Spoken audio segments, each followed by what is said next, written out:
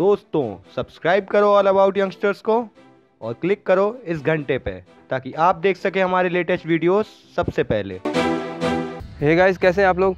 Guys आज मैं Pulsar 200 hundred N S two के बारे में कुछ डिसएडवांटेज बताऊँगा।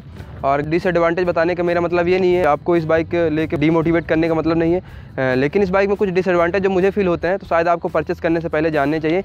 इस बाइक का जो पहला डाउन साइड है वो है कि इस बाइक का जो मोनोसॉक सस्पेंसन है, थोड़ा सा स्टिप है, जिसकी वजह से अगर आप कंटिन्यूस अगर आप हमेशा पिलियन सीटर के साथ राइड करते हैं तो थोड़ा सा इसमें पिलियन सीट थोड़ा पिलियन सीटर अनकम्फर्टेबल फील करता है तो ये चीज़ थोड़ी सी आपको दिक्कत कर सकती है।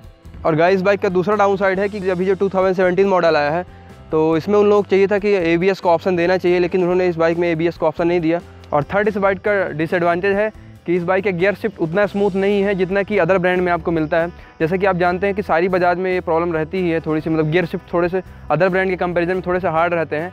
तो सेम इसी बाइक में भी है कि इसका भी गियर शिफ्ट पैटर्न थोड़ा सा हार्ड है। लेकिन अगर आप दूसरी बजाज की गाड़ी कंपेयर करेंगे पल्फर 220 या पल्फर की और कोई सीरीज़ तो उसके कंपेयर में इसका गियर शिफ्ट थोड़ा सा स्मूथ हुआ है। लेकिन अगर आप इसी को अदर ब्रांड से कंपेयर करेंगे, जैसे होंडा हो गई सुजुकी हो गई यामाहा हो गई तो इनके कंपेरिजन में थोड़ा सा इसका गियर शिफ्ट पैटर्न आपको हार्ड मिलता है।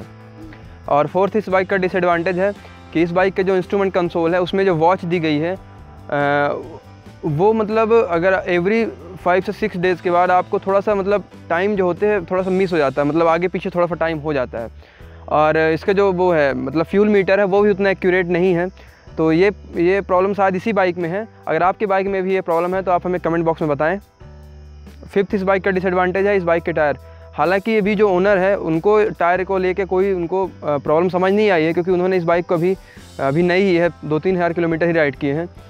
तो लेकिन बहुत सारे लोग जो ये बाइक ओन करते हैं, उनका कहना है कि ये बाइक में थोड़े से टायर अच्छे हो सकते थे।